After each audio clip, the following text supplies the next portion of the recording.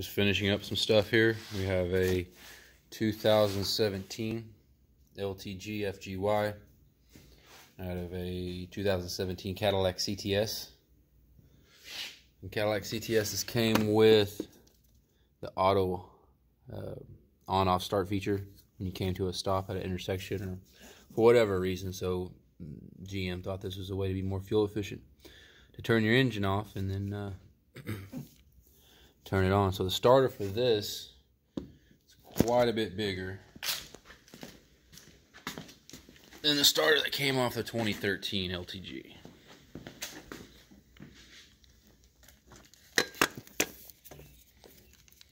So it's your normal four cylinder starter. And that is your upgraded for the I'm not sure if it started in 2016, but definitely 2017 and newer with the on-off start feature. They give you that massive, it reminds me of the S10 and Blazer starters out of the 4300s.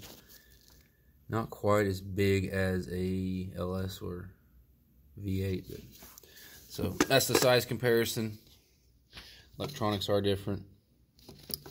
This one will have a CAN bus command so it'll trigger this on and off. There's your power.